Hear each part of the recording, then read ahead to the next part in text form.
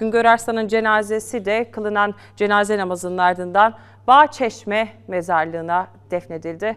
Bir basın emekçisi olarak bizler bu haberi aldığımız ilk andan itibaren gerçekten lanetledik bu durumu değerli izleyenler ve biz de üzüldük.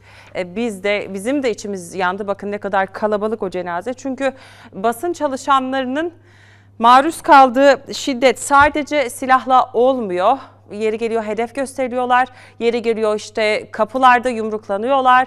Yeri geliyor hedef gösterildikleri kişiler tarafından şiddete uğruyorlar. Baskıya uğruyorlar. İşte sosyal medya hesaplarından dahil olmak üzere e, çok büyük bir stres altında, mobbing altında bırakılabiliyorlar. İftiralar atılıyor haklarında ve bu iftira atılan kişiler de bir nevi şiddete uğramış oluyor. Sırf basın emekçisi oldukları, düşüncelerini paylaştıkları ya da sırf onlar gibi düşünmüyorlar diye, onlar gibi hayata bakmıyorlar diye ya da belki de çeşitli anlaşmazlıklar, mesleki anlaşmazlıklar yaşandı diye hedef gösterebiliyorlar bir basın çalışanını. Bir haberi nedeniyle de hedef gösterebiliyorlar. Haliyle yine maalesef bir basın katliamı, e, bir basın cinayeti, basın çalışanının katledilişi değerli izleyenler.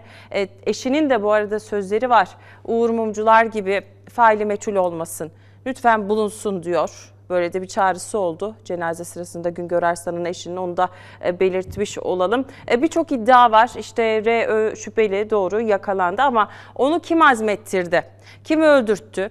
O şüpheliyi acaba kim öldürmesi için bu gazeteci, bu basın çalışanını, basın emekçisini acaba gaza getirdi belki de kaba tabirle ki zaten bu şüphelinin de açıklamaları var. Onu da yeri gelmişken söyleyelim. İki kişi bana geldi.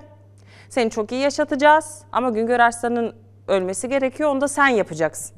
Buna benzer ifadeleri konuştuklarını da söylüyor yakalanan şüpheli RÖ. Ama o iki kişi kim? Azmettirenler kim?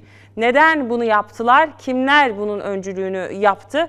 Bu soruların aydınlatılması gerekiyor ve belli ki artık basın çalışanlarına uygulanan bu şiddetin sonunun da gelmesi gerekiyor. Bir kelimeniz bile bazen bir şiddet unsuru sayılabilir. Hakaret, iftira, iddialar ve hedef gösterme tüm bunların artık kanun önünde, adalet önünde gerekli cezai yaptırımlarla konuşulması gerekiyor. O kişilerin en ağır cezalarla cezalandırılması gerekiyor. Talebimiz, umudumuz basın çalışanları ve basın emekçileri olarak budur. E, Bizler de yeri gelmişken paylaşmış olalım.